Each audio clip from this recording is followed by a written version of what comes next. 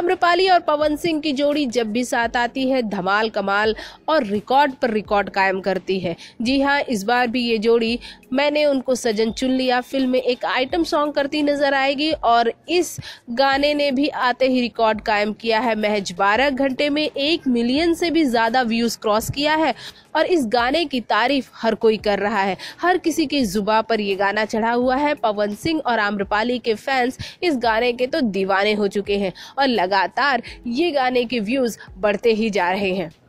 वैसे आपको बता दें कि मैंने उनको सजन चुनलिया का ये स्पेशल गाना, पवन सिंह, आम्रपाली और अंजना सिंह, इन तीनों तिकड़ियों के बीच में है। लेकिन पवन सिंह और आम्रपाली की केमिस्ट्री इतनी ज़बरदस्त है कि अंजना सिंह थोड़ी फिक्की पड़ती नज़र आ रही हैं।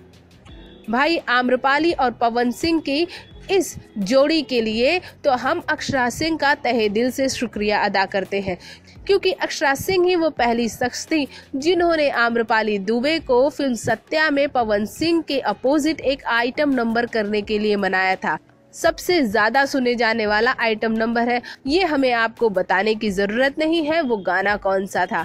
गाना था रात दिया बुता के। आज भी ये गाना सबसे ज़्यादा भोजपुरी में सुना गया है और इस गाने में पवन और आम्रपाली की केमिस्ट्री देखने लायक थी। और इस गाने के लिए आम्रपाली को किसी ने मनाया था तो वो कोई और नहीं, अक्षरा सिंह थी।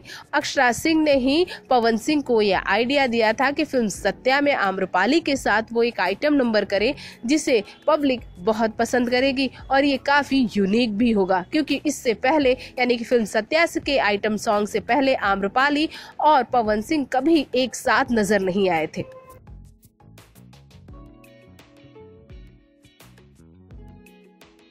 इसलिए कहीं ना कहीं कुछ न कुछ क्रेडिट इस गाने का अक्षरा सिंह को तो बनता ही है। भोजपुरी जगत की हॉट और मसालेदार गॉसिप के लिए हमें सब्सक्राइब करना बिल्कुल ना भूलिए।